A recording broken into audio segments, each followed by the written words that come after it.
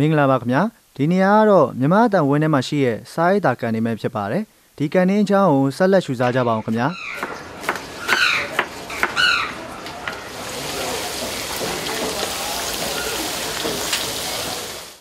ကြည်ရ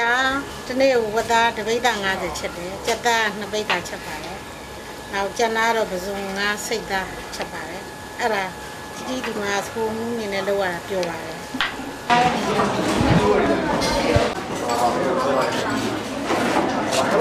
ဒီကန်နေမှာရရှိနိုင်တဲ့အစားအစာတွေကတော့နံနက်ပိုင်းမှာဆိုရင် ကော်ဖီနဲ့ခောက်ဆွဲကိုစီစဉ်ပေးတာပြီးနေ့လယ်ပိုင်း7:00နာရီမှစ၍ထမင်းဟင်းများကိုဝယ်ယူစားသုံးနိုင်ကြောင်းလည်းသိရှိခဲ့ရပါတယ်ခင်ဗျာ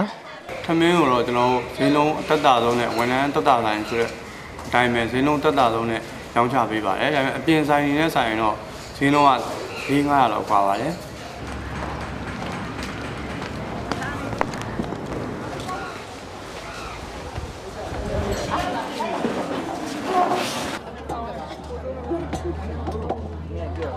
ဒီကန်နီးမှာဆိုလို့ရှိရင်ဟိုဘာပစ္စည်းမဆိုဝယ်လိုက်လို့ရှိရင်ဟိုအမှာဟိုပြင်စေးအတိုင်းရပါဘော။ Okay ထိတ်က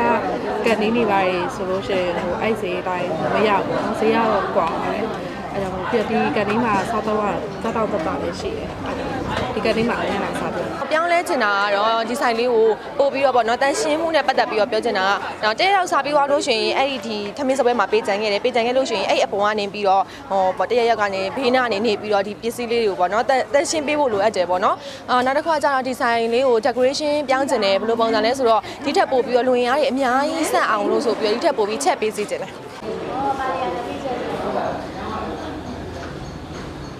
ကဲအခုဆိုရင်ပြည်သက်များအားလုံးလည်းစားရည်တာကန်နေရဲ့ဝန်ဆောင်မှုတွေကိုသိရှိသွားပြီဖြစ်တဲ့အတွက်ဒီအစီအစဉ်ကိုဒီမှာပဲရန်နာခွင့်ပြုပါခင်ဗျာကြည့်ရှုနေကြတဲ့ပြည်သက်များအားလုံးကိုလည်းအထူးပင်ကျေးဇူးတင်ရှိပါတယ်ခင်ဗျာ